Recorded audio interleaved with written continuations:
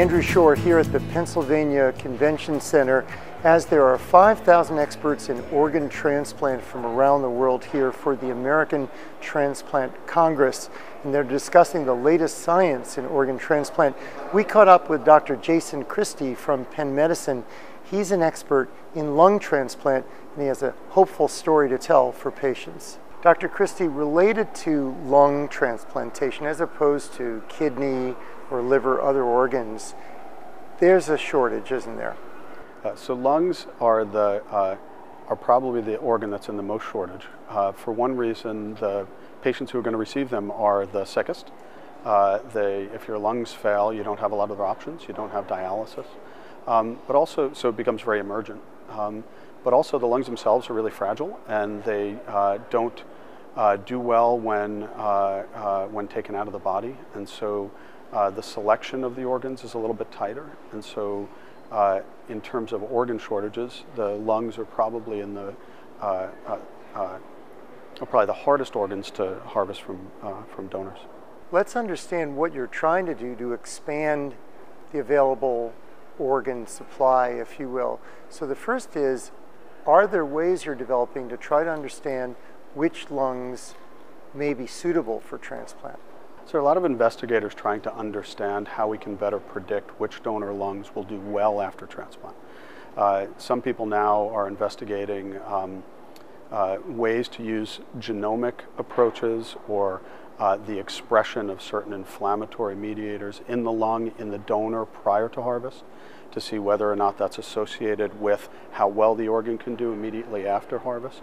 The idea that we can then predict so that we could potentially expand the donor pool in the low risk uh, organs. Let me see if I understand that. So you mean they're actually studying the actual biology of the donor lungs and understand which ones may be strongest? So that, that's one big part of it. One part of it is using uh, gene expression to predict the outcomes, and the other part of it is understanding the mechanisms in the biology so that you can actually think about pre-treating the donor in a mechanistic specific way prior to implanting the lung so that you can prevent the lung from having a vigorous acute lung injury response after the transplant. Now let's talk about another approach. I understand there's also been research to say, can we test out donor lungs outside the body prior to putting them in the, the sick person who really needs it? So this is a really exciting area lung transplant. And uh, there was a New England Journal article recently by the group in Toronto uh, where they tested a series of patients uh, where they took don uh, donor lungs that would otherwise have been not used for transplant because they were judged to be uh, uh, not suitable by not having the right oxygen exchange or other parameters that people use to select the donor lungs. Um, and they took them out of the body and placed him in a novel machine, an ex vivo lung perfusion machine. Outside the body. Outside the body, with it with the with um, uh, perfusate flowing through the vessels and a ventilator ventilating the lungs to mimic normal physiology. Uh, and they followed those lungs over time outside of the body to see which lungs actually improved. Um, and the majority of the lungs actually improved to the point that they were thought to be suitable for transplant. They were then transplanted into actual human recipients, and that they performed better in general than the historical rate uh, in, the, in historical lung transplants. I want to see if I got this right. So it's almost like training for lungs that are being donated to get them in shape for transplant where otherwise they might have failed. Right, well, it's conditioning it, and, and in many ways we're limited by our assessment in the donor because there's a lot going on in the donor. The donor's critically ill and other organs are being harvested, they're getting fluids and different therapies. And so we're left with relatively crude parameters of how that lung might potentially um, uh, perform after. Uh, about 15 to 30% of the lungs get uh, a severe uh, uh, acute lung injury syndrome called primary graft dysfunction, where the lungs themselves fill up with fluid, get swollen, uh, get filled with inflammatory cells, and those people do much worse after transplant who have that problem. And so that limitation and that fear in many ways makes uh, people who procure the organs worried about taking certain organs. So we've been trying to approach it by, um, by trying to assess the organs and the, and the mechanisms and try to predict it so we can feel safer.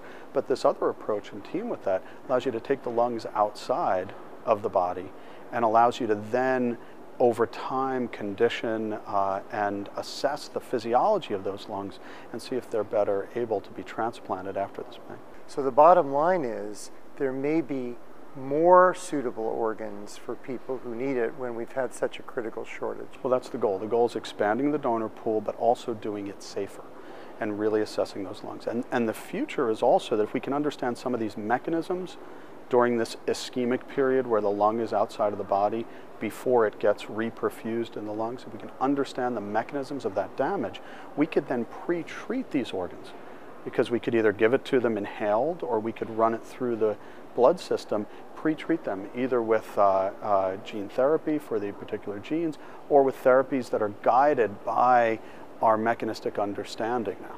So certain lungs may need certain things because of that donor's own preponderance to these injuries. And so it allows us to essentially administer personalized medicine to the donor lung prior to putting it in the body. Well, we've been talking cool. about personalized medicine a lot, but now we're talking about personalized medicine of an organ yeah. outside a body. Very uh, cool and I think hopeful for people. One last thing, and that is in the older patient. Severe lung disease, their lungs are failing, hope for transplant, but then you say, this is a older, very sick person. What's your feeling about expanding options for them? Well, um, one of the sessions at, at uh, the conference today is going to be dealing with um, uh, transplanting older patients and certain ex uh, centers' experience of transplanting those older patients. We've had relatively arbitrary age, age limits for years. Uh, original age limits in lung transplantation were 60. Um, more recently, people have talked about 65 as a relative age limit, but people's physiology may be very different, and age is many times just a number.